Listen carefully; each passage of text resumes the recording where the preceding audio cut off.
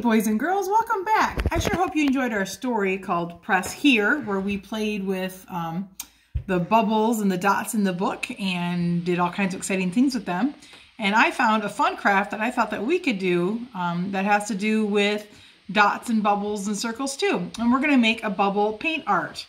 And um, all I did to do this is I mixed food coloring with bubble mix and we blew bubbles on paper. So it is the simplest craft ever and it's a lot of fun to do, but it's very messy. So you need to change your clothes into something you don't mind getting stained or dirty.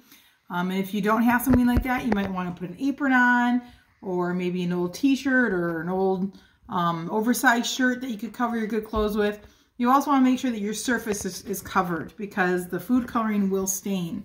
So you need to make sure that you've got paper, newspaper, print, something like that, or go outside and do it on the grass because you're going to cut the grass and it's going to get washed up anyways. So that way you don't stain your, your mom's furniture or anything like that. So um, what you're going to need for this project is, of course, bubbles. You're going to need a tablespoon. You're going to need food coloring. You only need the primary colors, which are red, yellow, and blue. You need some small bowls and some um, bubble blowers. And of course, you need um, the paper to put this on. Now I used um, watercolor paper here um, that I got years ago for my kids um, when we homeschooled them and we did art. But you can also use construction paper. You want to use a thicker paper though because the paper is going to get quite wet. And if you use just thin paper like what comes out of your computer, the paper will get so soggy and saturated it'll fall apart. So you're going to want to use a thicker paper to do our art. So let's go ahead and get started here. Um, let's see, I just my things. Okay, so the first thing you need um, is to make your solutions. And these are pretty simple. You just need to take your bubble mix and you need to pour about a tablespoon. It's really important that you don't have a lot because too much, we found out the first time I did this project, that too much bubble mix um, didn't produce dark colored bubbles. So you want to have just a little bit of bubble mix um, with your food coloring. We've already got blue and yellow made, so we're going to make the red here. And we just add a couple drops of red here. Isn't that kind of cool how that looks? And we can kind of swirl it around. Isn't that pretty? And if you want, you can stir it around with your bubble thing. And now here comes the fun part. We're going to move our food colors and our bubbles out of the way and our book so we don't get that ruined. And we're just going to gently blow some bubbles onto the paper. I'll move paper a little bit closer so we don't get my cameraman all bubbly. Watch. As you can see, you get little bubbles and big bubbles.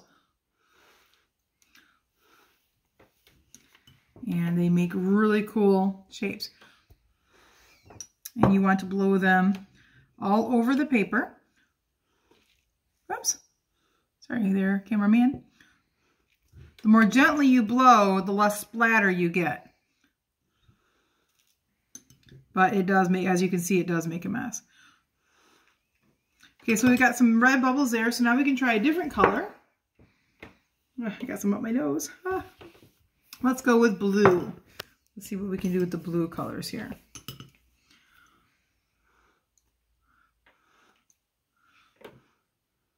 We have a big one. Oh, and it got mostly on the paper or on the scrap paper. So we'll do another blue here. Ooh, look at that one bounce. Oh, that one was almost perfect. Look at that.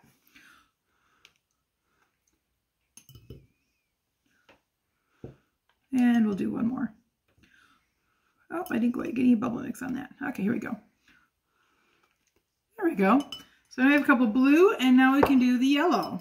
And you'll notice I've got it on my hands too, so you want to be careful that you don't stain anything. And we're going to get a little bit of yellow here. Yep, I got yellow on there. And you can mix your colors as you go here because yellow and blue will make green and yellow and red will make. Does anybody know? Anybody know what does yellow and red make? Purple.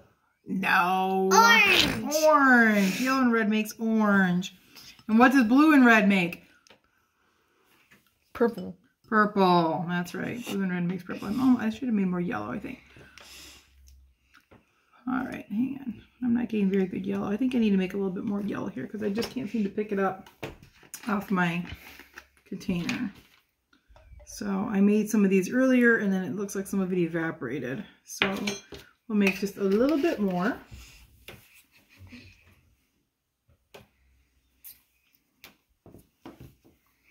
And each art that you make is going to be a little bit different from the one before because depending on where the bubbles end up at. So you can make a bunch of these.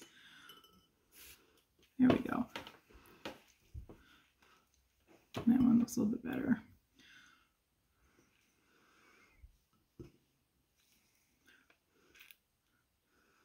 Oop, that was of, kind of drippy. I don't know why. All right, there we go. And last one for yellow. There we go. That's a nice yellow bubble. And so um, we could go on and fill in the empty spaces as we like, or if we like it simple, we can leave it at that.